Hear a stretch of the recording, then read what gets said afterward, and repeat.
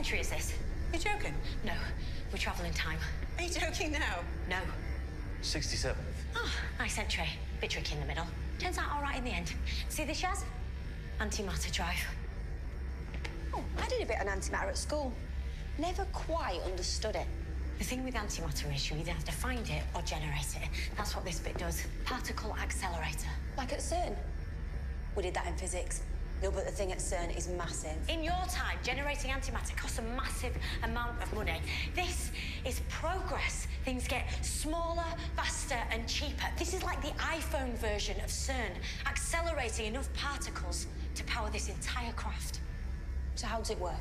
The particle accelerator smashes the atoms together like a little antimatter factory to produce positrons, which are then stored very carefully inside electric and magnetic fields. The positrons interact with the fuel materials to produce heat, which produces thrust. That's pretty old school, this one. It's beautiful. Antimatter powering the movement of matter, bringing positrons into existence to move other forms of life across space. I love it. Conceptually,